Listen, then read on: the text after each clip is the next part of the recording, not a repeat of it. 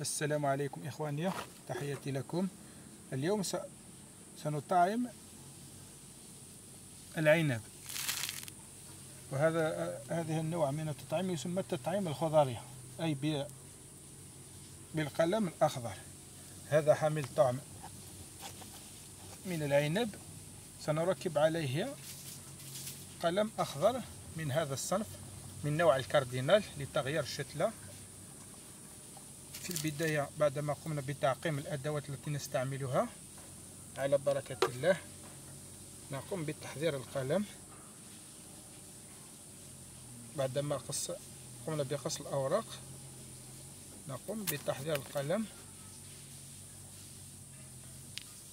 أنا دائما في هذه العمليات أفضل برعم واحد. على هذا الشكل تركت هذا ليجذب الماء إلى الأعلى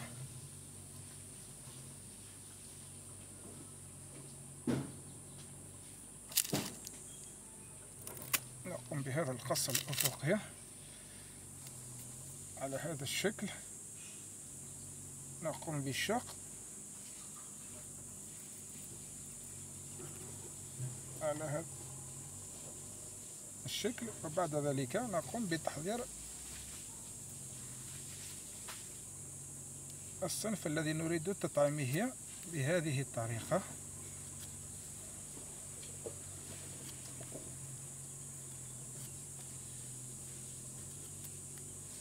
كما تشاهدون بعدما قمت بعملية الشق سأقوم بإدماج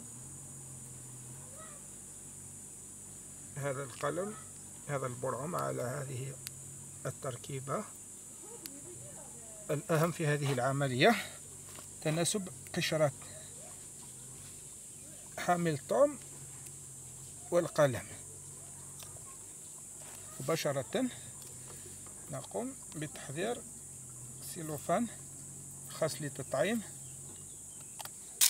نقوم بعملية الربط عملية سهلة. على هذا الشكل. نحرص بالربط الجيد بعدم دخول الهواء. عملية بسيطة وسريعة وناجحة إن شاء الله. هذا ما نسميه بالتطعيم الخضري في العنب.